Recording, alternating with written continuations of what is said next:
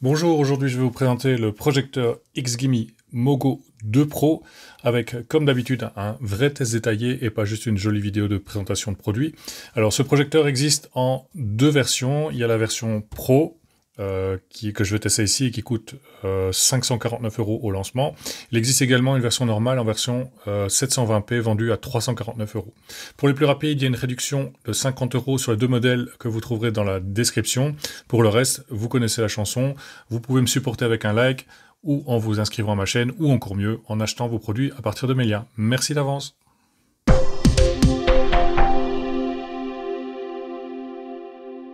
Le Mogo 2 Pro est un projecteur portable d'entrée de gamme de chez XGIMI et comme son nom l'indique, il s'agit de la deuxième génération de la gamme Mogo. J'ai eu l'occasion de tester le premier modèle il y a deux ans et bien que les deux modèles se ressemblent, il y a quand même quelques différences que je vais détailler ici dans le, test. Alors commençons par euh, le bloc optique. Il ressemble assez fortement au modèle précédent, c'est d'ailleurs la même puce euh, DLP qui se cache derrière. Il s'agit d'une puce DMP DMD 0,23 qu'on retrouve aussi dans de nombreux autres projecteurs comme celui-ci, le XGIMI Elfin, que je vais comparer par, euh, par, la suite. Euh, cette puce DLP, elle génère une image de 940 par 540. Euh, Donc ce n'est pas un vrai 1080p, mais XGIMI, comme les autres constructeurs, utilise ce qu'on appelle une interpolation pour combiner plusieurs images très rapidement et au final obtenir une image de 1080p. Vous ne verrez donc pas de différence, sauf pour les très grandes tailles d'écran. Alors à côté du bloc optique, on retrouve euh, deux capteurs qui permettent de déterminer automatiquement la forme de l'image avec la, correction en trapèze. Je vous montrerai plus loin dans la vidéo que ce système d'ajustement automatique fonctionne vraiment bien. Alors il y a aussi un capteur qui permet de détecter la présence d'une personne euh, devant le, euh, le, projecteur. Et donc, quand on passe devant le projecteur, le projecteur baisse automatiquement la luminosité pour protéger les yeux. Alors, c'est une fonction, fonctionnalité assez courante, mais euh, vous allez sans doute avoir envie de la désactiver parce que la détection est vraiment très très sensible. Au moindre passage devant le projecteur, même rapide, le projecteur va se mettre en veille lumineuse. Alors moi je l'ai désactivé pour les tests parce que c'était vraiment euh, euh, plutôt ennuyant à chaque fois de devoir euh, utiliser la télécommande pour sortir du mode veille lumineuse. mais bon, à vous de voir ce qui, ce qui vous convient le mieux. Alors, le Mogo 2 Pro est enveloppé par cette, cette grille qui fait partie, de, l'identité des produits XGIMI depuis plusieurs années déjà. Il y a juste que la couleur est différente. Cette fois-ci, utilise, XGIMI utilise habituellement une sorte de gris. Ici, on est plutôt sur un doré couleur, j'irais presque champagne. Alors, cette grille permet de cacher les deux haut-parleurs de 8 watts euh, ce qui me fait penser que habituellement, XGIMI utilise des haut-parleurs euh, de la marque euh, Harman Kardon. ça n'a pas l'air d'être le cas ici parce qu'en fait, quand on regarde, par exemple avec ce Halo Plus, il y a la mention Harman Kardon qui est présente en bas du projecteur. Ici, en fait, il n'y en a pas. Donc je suppose que les haut-parleurs ne sont pas des haut-parleurs Harman Kardon. Alors, à l'arrière, on retrouve l'habituelle grille d'évacuation de chaleur, euh, rien d'exceptionnel à ce niveau-là. On a un port USB-C pour l'alimentation, je vais revenir là-dessus parce que c'est important. On a un port USB-A pour brancher un disque dur, un port HDMI pour, par exemple, brancher une console de jeu, un lecteur Blu-ray, etc. Une sortie casque. Il y a une petite nouveauté ici, euh, c'est en fait une fenêtre par laquelle on voit la membrane du haut-parleur, et donc quand euh, le projecteur diffuse du son, on peut voir la membrane euh, vibrer. Bon, c'est original, mais c'est pas très utile parce que ce projecteur-là, vous devez l'utiliser dans l'obscurité, et forcément dans l'obscurité, vous n'allez pas voir la membrane de toute façon.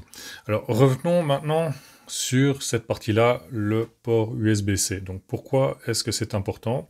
Bon, la première raison, c'est que le modèle précédent du Mogo était équipé d'une batterie interne.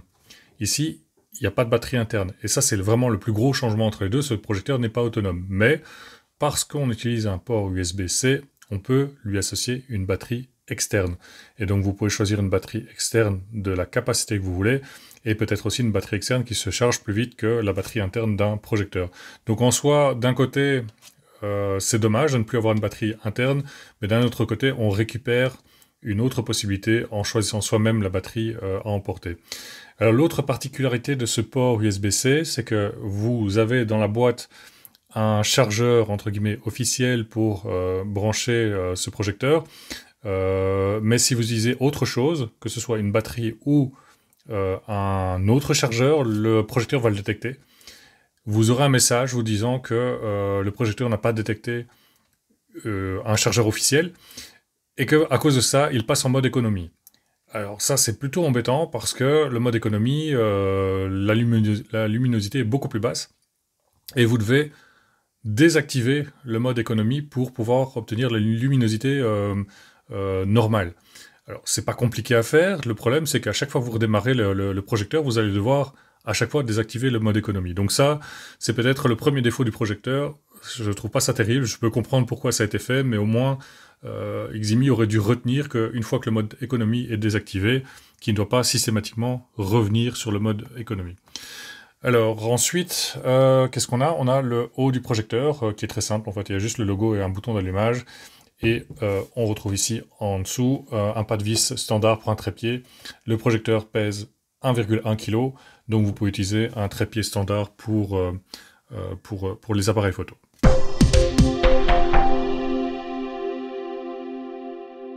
Dans la boîte, on retrouve euh, évidemment le projecteur qui est très bien protégé par une épaisse euh, couche de mousse. On retrouve également euh, le chargeur avec embout en USB type C. Il y a également un gros manuel d'explication que je n'ai jamais ouvert parce que le projecteur est facile à utiliser donc ce n'est pas nécessaire.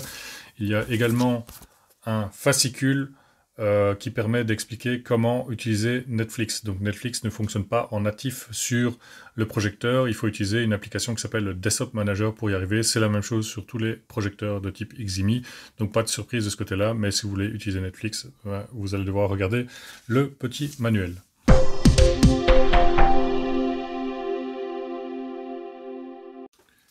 La boîte contient aussi la télécommande.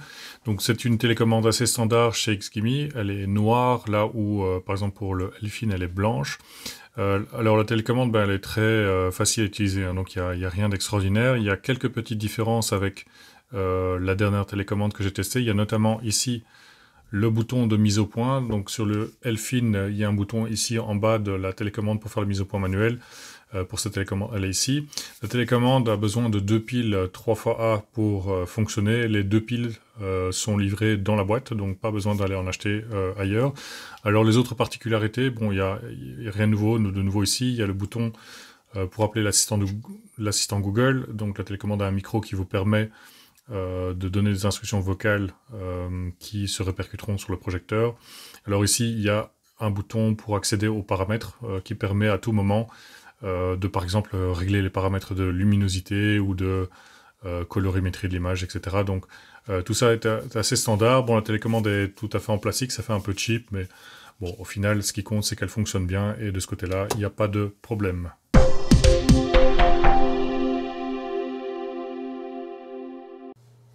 Ce projecteur est un projecteur portable, donc ça veut dire que vous devriez en principe régler l'image à chaque déplacement. C'est heureusement pas le cas avec le Mogo 2 Pro parce que XGIMI utilise une technologie d'adaptation automatique de l'image. C'est clairement une force de ce projecteur. Vous pouvez donc bouger le projecteur latéralement ou verticalement ou même complètement le retourner. L'image va s'adapter en quelques secondes à la nouvelle situation. Et vous pouvez le voir d'ailleurs sur cette vidéo. Vous pouvez aussi évidemment toujours utiliser le mode manuel si le réglage automatique ne répond pas à vos besoins, mais comme ça fonctionne bien, cela ne devrait pas arriver trop souvent.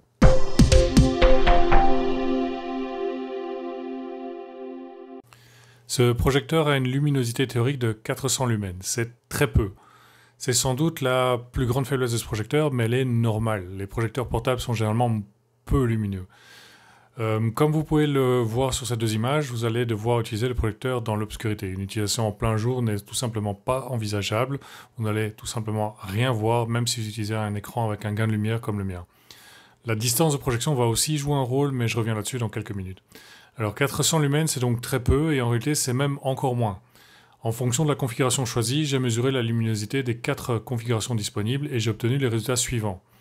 Le mode vif 357 lumens, mode cinéma 331 lumens, mode bureau 361 lumens et mode performance 383 lumens. Vous pourriez être tenté d'utiliser le mode performance pour avoir une meilleure luminosité, mais c'est une mauvaise idée. L'image en mode performance est vraiment moche, elle est toute verte et dans cette configuration-là, le projecteur fait autant de bruit qu'un sèche-cheveux en fin de vie.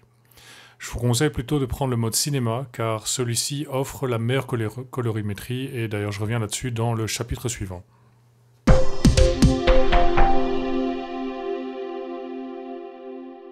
Revenons sur le deuxième facteur qui va influencer la luminosité, à savoir la distance de projection. Elle joue un rôle crucial.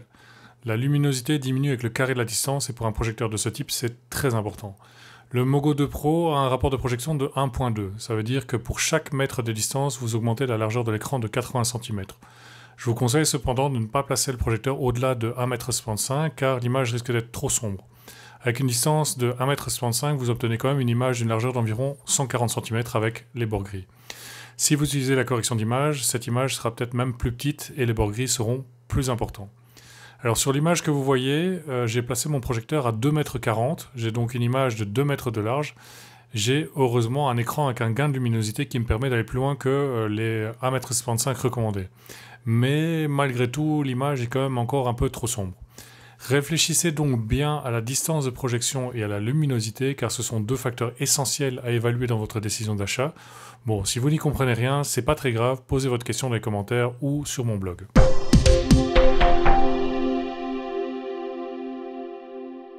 La fidélité couleur n'est pas une notion subjective dans l'évaluation d'un projecteur. Je la mesure avec une sonde colorimétrique comme celle-ci et le résultat se mesure en delta E. Le delta E mesure l'écart entre la couleur réelle et la couleur projetée. Un delta E en dessous de 3 indique que l'écart entre la couleur réelle et la couleur projetée n'est pas perceptible. Les projecteurs avec un delta E inférieur à 3 à la sortie de la boîte sont assez rares, il faut parfois changer les paramètres et c'est ce qu'on appelle la calibration. Alors pour trouver la meilleure configuration, j'ai testé tous les modes de luminosité comme ceux que vous pouvez voir à l'écran. Chaque configuration a une intensité et des propriétés lumineuses différentes il y a 5 configurations disponibles comme vous pouvez le constater sur la vidéo.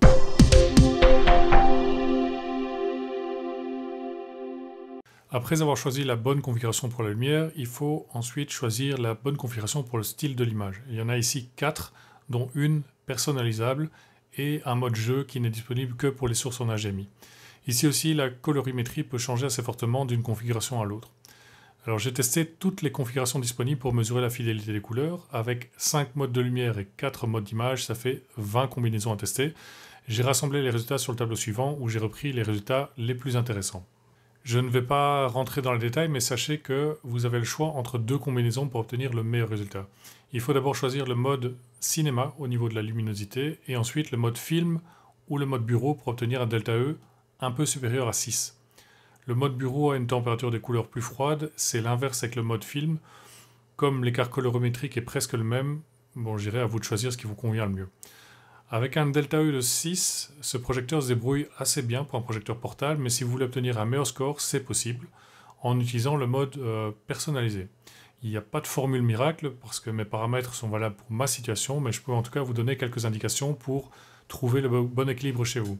Alors d'abord pour le rouge, il faut viser une valeur entre 60 et 65. Pour le bleu, viser une valeur entre 30 et 35. Pour le vert, viser une valeur entre 45 et 50. Ces valeurs devraient vous permettre de réduire la froideur naturelle de l'image. J'ai obtenu un delta E d'environ 5 avec ces valeurs.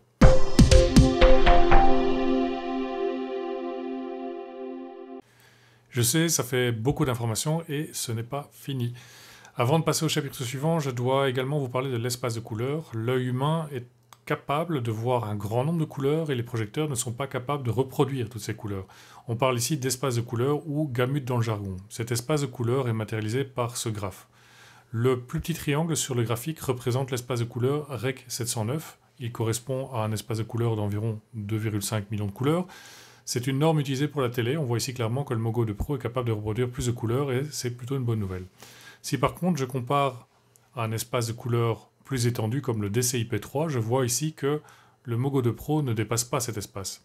XGIMI indique que le Mogo 2 Pro est censé couvrir 90% de l'espace DCI-P3, mais à vue de nez, ça n'a pas l'air d'être le cas. Ce n'est pas non plus dramatique parce que dans cette gamme de prix, c'est très rare.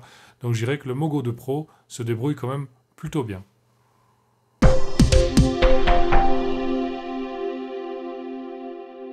Le contraste, c'est souvent le point faible des projecteurs et plus particulièrement ceux dans cette gamme de prix. La combinaison d'une source LED avec une puce DLP aboutit toujours à un contraste plus faible qu'avec une source laser. J'ai mesuré un taux de contraste entre 308 et 380 pour 1 en fonction de la configuration choisie. C'est très faible, mais pas du tout surprenant pour un projecteur comme celui-ci. Si vous avez bien écouté le chapitre précédent, vous noterez que pour obtenir la meilleure colorimétrie, il faut faire une petite concession supplémentaire. La configuration cinéma offre un contraste moins élevé que les autres configurations, mais bon, la différence n'est pas non plus gigantesque.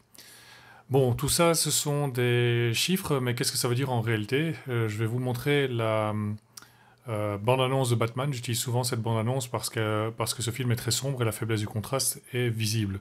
Si vous regardez par exemple les scènes sombres, elles ont tendance à être très sombres et il y a clairement une perte de détails.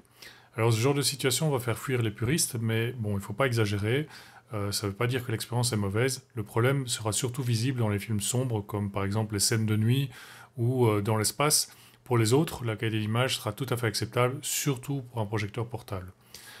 Allez, je vous laisse encore quelques secondes de Batman avant de passer au chapitre suivant.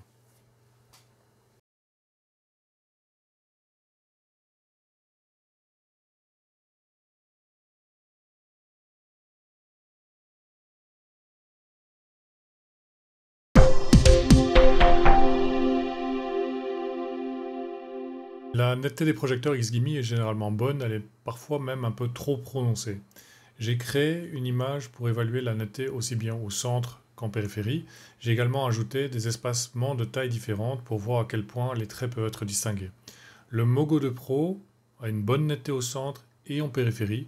L'écart entre les plus gros traits est toujours visible, ce n'est pas forcément le cas pour les traits de 1 pixel. La résolution et la taille d'image jouent un rôle ici, mais vous ne devriez pas avoir trop de problèmes avec les films parce que les films ne sont pas conçus pour être précis au niveau d'un pixel. Je vois également une légère aberration chromatique entre les traits, mais elle n'est pas visible pour les images en mouvement. Alors Xgimi continue donc dans sa lancée avec une série de projecteurs offrant une bonne netteté et surtout sans prise de tête où le réglage automatique de netteté est très efficace.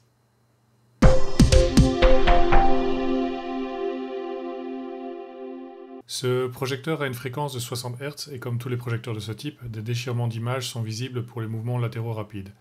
XGIMI utilise habituellement un système de compensation de mouvement pour lisser les transitions, mais ce n'est pas le cas pour ce projecteur. Regardez le bloc blanc en haut, le plus rapide. Euh, vous allez voir qu'il est suivi d'un déchirement, une espèce de traînée blanche qui traîne derrière euh, le rectangle blanc. Ce sera pareil pour les mouvements rapides dans vos films et séries, donc c'est un peu dommage.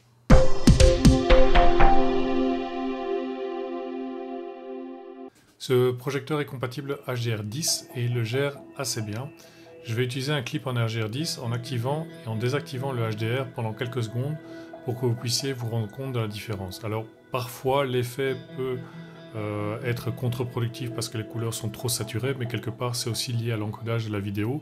Mais en tout cas vous verrez la différence entre le mode avec HDR et le mode sans HDR.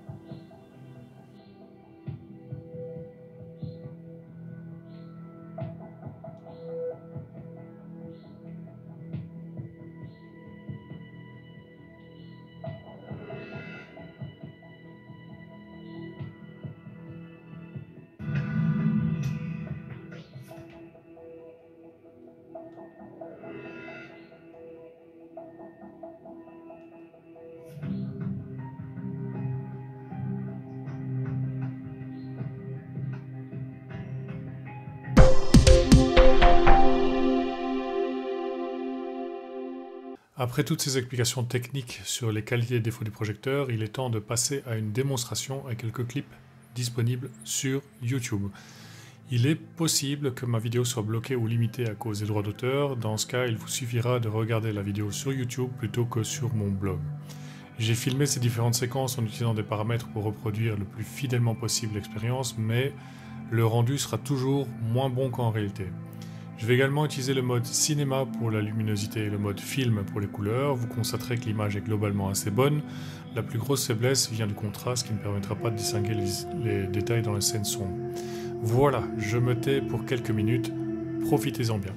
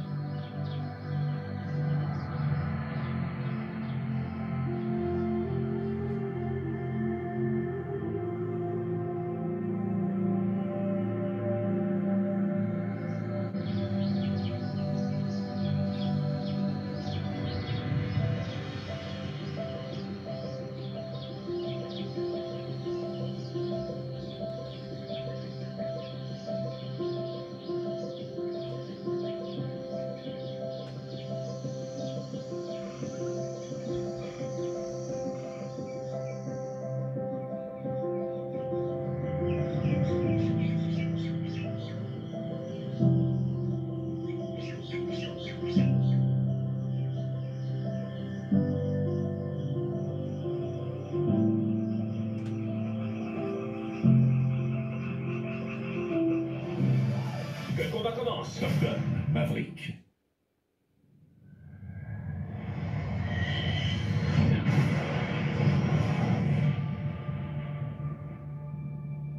Regardez qui est là Moi qui croyais qu'il prenait que le meilleur. Messieurs, voici Blackman. Hangman. Si tu veux. Mais cette mission, c'est quoi?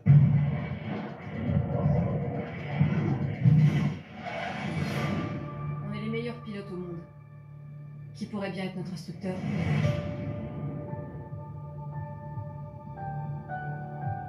Capitaine de vaisseau Pete Maverick Mitchell. Je vais être franc. Vous n'étiez pas mon premier choix. Vous êtes ici à la demande de l'amiral Kazansky, alias Iceman. Il semble croire que vous pourrez encore servir la Navy. En quoi, je ne sais pas. Sauf votre respect, monsieur, je ne suis pas instructeur. Je voudrais pas que vous vous fassiez trop d'illusions.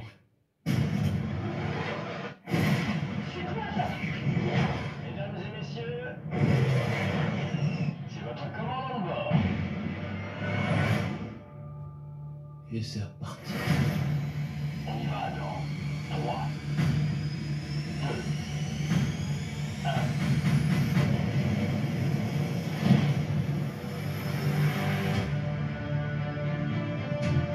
On va devoir se battre, comme aucun pilote ne l'a fait avant nous.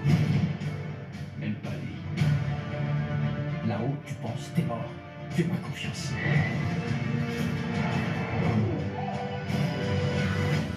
Mon père avait confiance en vous. Je ferai pas la même erreur.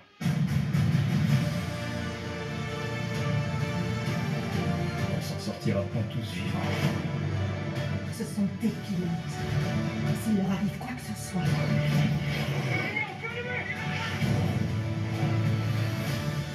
Tu ne te le pardonneras jamais. Plus question de reculer. C'est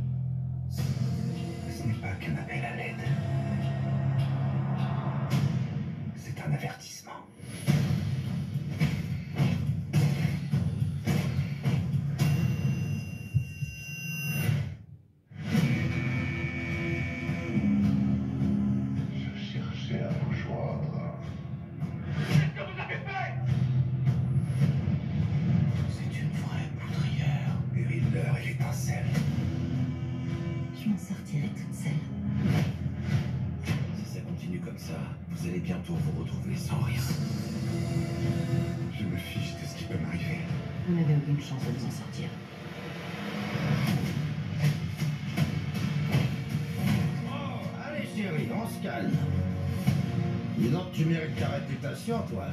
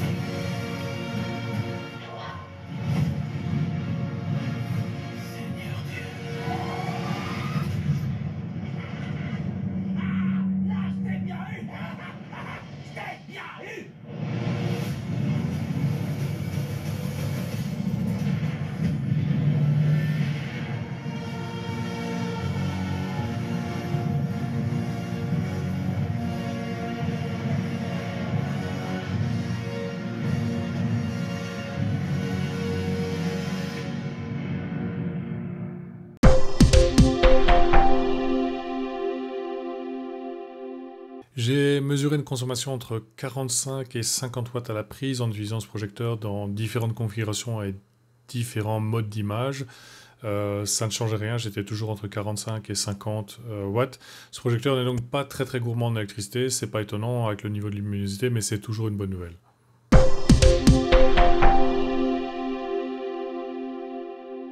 Le Mogo 2 Pro est un projecteur assez discret, il émet un léger bruit de ventilation audible lorsqu'on est proche du projecteur. J'ai mesuré environ 45 décibels à proximité, donc à l'arrière du projecteur, mais si je m'éloigne de 50 cm, mon décibelmètre ne détecte plus rien. Alors par contre, le projecteur est beaucoup plus bruyant avec le mode performance, mais la qualité d'image est tellement mauvaise que je me demande pourquoi on devrait utiliser ce mode-là. En règle générale, donc, même quand il est fortement utilisé, le projecteur est très silencieux.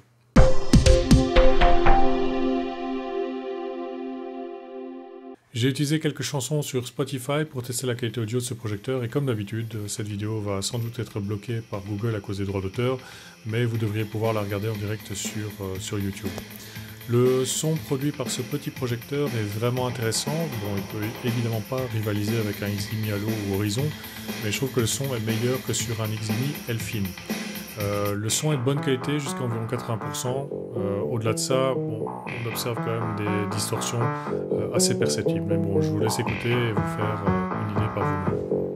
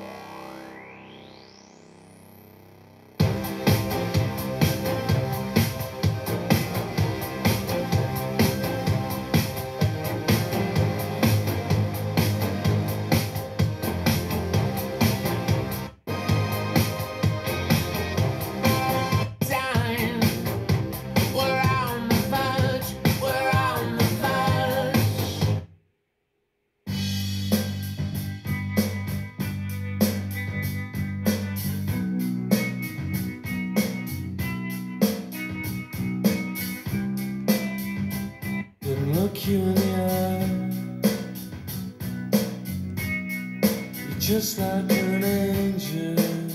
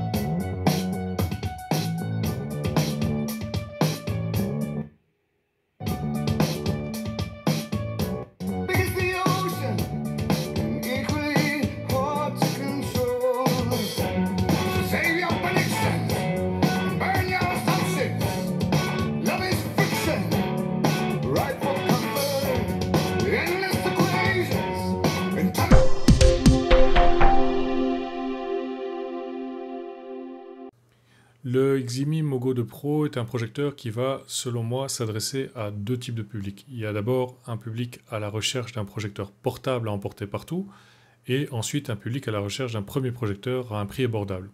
Sur le papier, ce sont deux publics différents, mais en réalité, ils finiront probablement par utiliser le projecteur de la même façon. J'ai été interviewé par une personne travaillant chez Xgimi l'année passée à l'occasion d'une enquête et j'en avais profité pour poser quelques questions.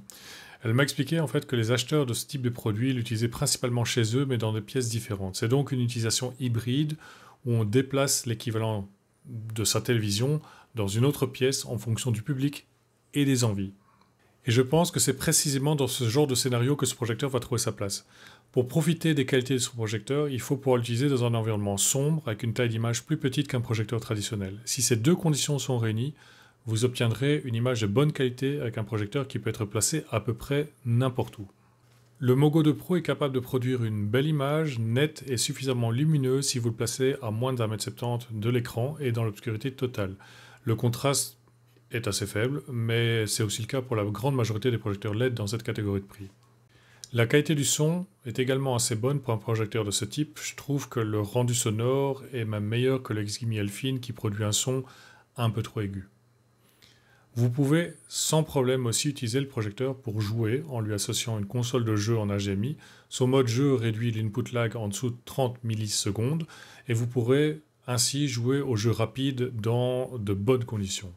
Si je dois résumer rapidement les forces du projecteur, je citerai la colorimétrie, elle est bonne pour un projecteur de ce niveau de prix, euh, la petite taille, le faible poids, la netteté si vous gardez le projecteur à moins d'un mètre 70, l'input lag très faible permettant de jouer à des jeux euh, sur console en HDMI, la qualité du son jusqu'à 80% du volume, le niveau de bruit qui est très bas, le niveau de finition, c'est un bel objet, l'utilisation d'une version officielle d'Android TV, l'adaptation automatique de l'image, la possibilité d'utiliser un port USB type C pour l'alimenter.